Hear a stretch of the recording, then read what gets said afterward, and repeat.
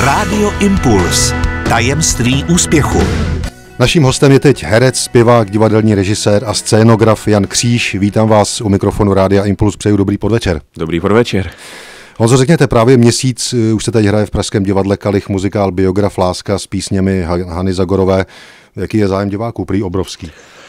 No, nemůžeme si stěžovat v tomhle smyslu, že vidíme, že to u lidí hodně rezonuje a máme, máme radost, že je o to velký zájem a i že jsou na to moc hezký ohlasy. My jsme samozřejmě cítili obrovský pocit odpovědnosti, aby jsme s těma písničkama naložili jak nejlíp můžeme. A dělá nám velkou radost, že i ta odborná uh, kritika, i, i divácký ohlas je velmi, velmi pozitivní. Hmm. Máme radost. Eh, vy tam muzikál režírujete. Jste rád, že jste tu práci vzal nakonec s těmito ohlasy? Jsem rád. Jsem rád. Ono se to u mě potkalo v, před dvěma lety vlastně, kdy ta nabídka padla, kdy se začal chystat uh, ten muzikál. A tenkrát to byla šílená pro mě schoda okolností, která mě, včetně toho, že právě byly ty lockdowny a takhle, že jsem tak jako hledal jako kterým směrem novým uh, nastavit tu energii a něco nového zkusit, protože jsem viděl, že, uh, že se věci mění a že se nedá úplně na všechno spolehnout, tak jak jsem si myslel. A i, i vlastně díky tomu, že jsem viděl krátce předtím, jsem viděl v Hamburku muzikál Pretty Woman, který se mi hrozně líbil a najednou jsem si uvědomil, že i tenhle ten žánr jakoby muzikálu pro ženský publikum se dá udělat krásně, dá se hmm. udělat řemeslně velmi dobře. Takže to všechno se potkalo a nakonec uh, jsem za to všechno moc rád. Hmm.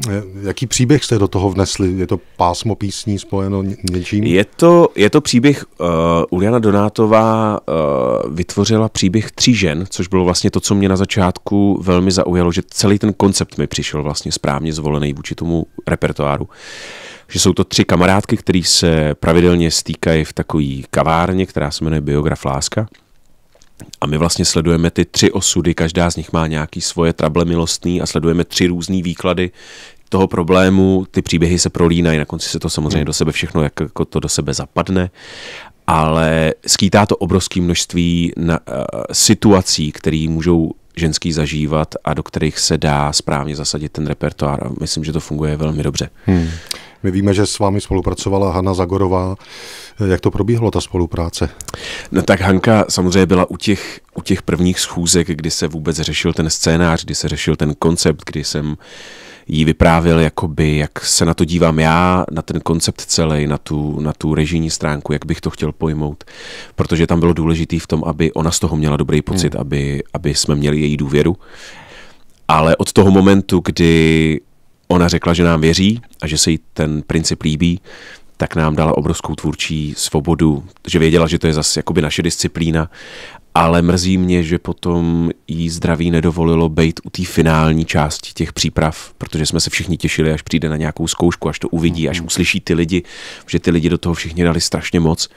A spousta z nich ji osobně nezná, uh, neznalo, takže se i těšili, že se s ní seznámějí, že, že před ní budou zpívat ten repertoár. Že tenhle repertoár je i zvláštní tím, že ono na ledas, jaký písničky si kde kdo dovolí sáhnout. Spousta lidí zpívá cover verze různých jako českých velkých hitů a když to tak řeknu, Lady Carnival zpívá uh, skoro každý, nebo takhle, že spoustu těch z těch písniček si dovolí na ně někdo sáhnout, ale u té Hanky já neznám jako moc lidí, kteří by si dovolili sáhnout na ten repertoár a my jsme měli takhle její požehnání, ona nám ty písničky svěřila, takže všichni ty lidi cítili obrovskou zodpovědnost. Já jsem cítil obrovský respekt před tím repertoárem. Hmm.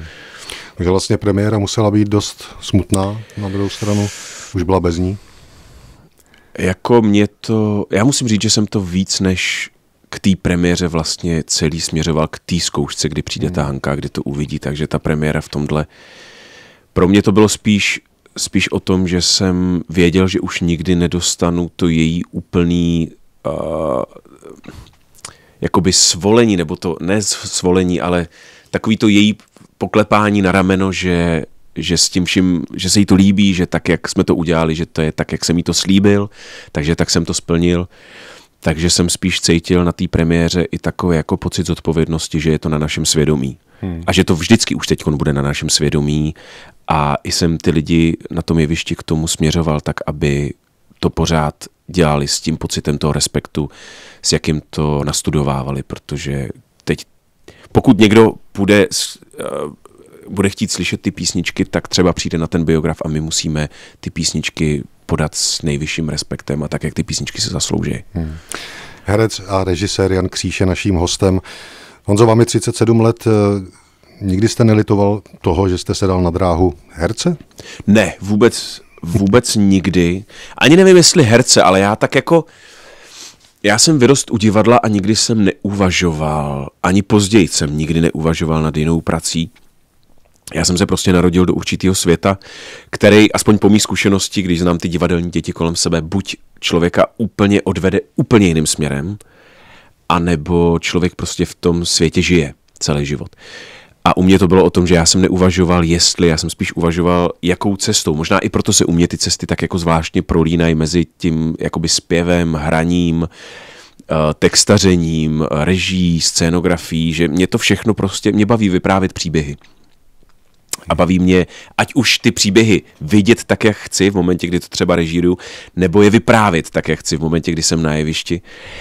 Takže ne, já jsem nikdy na tím vlastně neuvažoval. Pro mě spíš vždycky ty ostatní profese byly takový jako magický a, a těžko často pochopitelný, ale v divadle já se cítím dobře. Tam no, já jste vystudovali scenografii. Ano.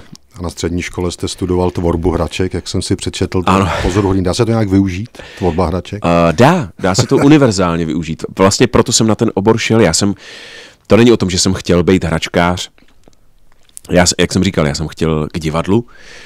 A jelikož naši mi nedovolili jít studovat konzervatoř, jako střední hereckou, tak eh, protože řekli, že chtějí, abych nejdřív měl nějaký řemeslo, ke kterému se když tak dá vrátit, protože byli oba od divadla věděli, jaká, jak vysoká je ta neúspěšnost u lidí, kteří vystudují mm. herectví. Takže chtěli, ať nejdřív mám nějaký obor. A takže jsem to směřoval k té scénografii. A nakonec mě přesvědčil jeden velmi moudrý člověk, abych eh, studoval nějakou obecnější výtvarničinu, než půjdu na vejšku na scénografii. Uh-huh. A tohle s tou obecnou výtvarničnou pro mě bylo právě to hračkářství, protože tam se člověk potká se všema možnýma technikama, kresba, malba, sochařina, technologické zpracování plastů, dřeva, kovu, všeho možného. Takže člověk má obrovský jakoby řemeslný zázemí v tom a krom toho se věnuje strašně hezkému oboru, protože zkoumá tu dětskou duši a vlastně se snaží trefit do toho jednotlivého období vývojového toho dítěte s různou tou optikou, s, různou, s různým uh, výtvarným pojetím. Ten obor je nádherný. Nádherný, jsem strašně rád, že jsem ho studoval. A do dneška bych řekl, že nejvíc, co využívám třeba výtvarně na jevišti, tak je vlastně tahle škola. Hmm říká Jan Kříž, herec a režisér, který je naším hostem dneska. Eh, vy jste dvojnásobným držitelem, držitelem ceny Tálie v kategorii muzikál, tak asi hodně o to víte, režírujete muzikál, zároveň hrajete i činohru. Co musí mít muzikálový herec jiného než činoherní? Já nevím, zpěv, tane, odvahu? odvahu musí mít každý herec. Naopak bych řekl, že někdy ty činoherci musí mít víc odvahy, protože nemají, my máme tu obrovskou výhodu, že za náma často stojí hudba tak jako operní, mě tohle to fascinuje, já jsem vyrost části vlastně u opery, protože táta je operní zpěvák, tak mě fascinovalo to, že když si člověk poslechne, nevím, třeba, já hrozně rád poslouchám uh, její pastorkyni, Janáčkovu, nebo Evžena Onigina Čajkovského, Bohému Pučiného. To jsou věci, které dramaticky fungují, emočně fungují, i když se člověk jenom poslechne že ta věc, prostě ta, ta obrovská emoce je schovaná už v té hudbě, je vlastně zakotvená. Když si člověk poslechne Mozart a ty věci, ty věci mají obrovský emotivní náboj už od toho autora. A často jsou daný, dramaticky jsou daný. Čili někdy, když je ta věc dobře napsaná a člověk není hloupej a je citlivý, tak se tou věcí často jenom proveze, když je ta věc hudebně, hudebně dobře funguje. A, a ty činoherci tohle to samozřejmě musí budovat kompletně sami. Ale zas na druhou stranu bych řekl, že my máme i ten rozdíl, to řekl hrozně hezký jeden režisér, se kterým jsem kdysi dělal výborný muzikál, eh, řekl Zorba, tak říkal, že z jeho pohledu, uh, když činoherec už nemá kam jít dál v těch výrazových prostředcích a emočních prostředcích, tak ten muzikálový má tu výhodu, že může začít zpívat. Což je hrozně hezký. Ne vždycky se to takhle jakoby používá, ale dá se ta situace takhle vystavět, že člověk prostě jde na úplný okraj a pak může ještě otevřít úplně nový svět, vlastně, kdy se rozjede ta hudba. Čili v tomhle, v tomhle bych řekl, že my máme i výhodu a zároveň samozřejmě řemeslně ten trojboj je, je nesmírně náročný, když se má dělat dobře. Takže je to v určitém smyslu i jako sportovní disciplína často. Hmm. Vždycky se takhle ptá Karel Šíp, já se zeptám taky, v čem vás teďka můžeme vidět? Udělejte si reklamu. já ani nevím, já většinou mývám kolem nějakých 12-14 představení, takže si určitě na všechny nevzpomenu. Ale určitě se mě dá vidět uh, Voda a krev nad vodou, krásný muzikál, muzikál Mauglí, krásný muzikál, Elizabeth v Plzni hrajeme, v Liberci hrajeme krásnou hudební komedii, hledá se tenor, výborná věc. Uh, Robin Hood se pořád hraje, teď hrajeme Johanku z Arku, taky nádherný muzikál. Asi teď vypadá to, že se budeme vracet ke zpívání v dešti, na který se hrozně těším, taky nádherná věc. Krom toho koncertujeme se, se skupením Čtyři tenoři, který má u diváků taky velký, velký úspěch a teď budeme vlastně, vydáváme druhý CD, na který se moc těším. Takže teď se toho děje hodně, hodně a mám z toho velkou radost. No, těch tenorů se ještě chytím úplně nakonec. Eh, jak, jaký, jakým hlasem, jakým typem hlasu vy tam přispíváte k tomu kvartetu? Já jsem, eh, ono takhle, v českých muzikálových podmínkách je to o tom, že často člověk zpívá, jak se říká, od Bacha po Vlacha všechno že u nás se ty obory tolik nectějí, protože člověk prostě uh, zpívá, co, co zrovna je za práci. Čili já normálně na jevišti se pohybuju v podstatě od uh, rokového basbaritona až po často jakoby velmi vysoký tenorový obor. Čili u mě je to takový všelijaký, ale řekl bych, že nej, nejzakotvenější, nejpohodlnější pro mě je ten baritenorový obor, klasický muzikálový baritenor. Že tam se cítím jakoby nejpohodlnějc.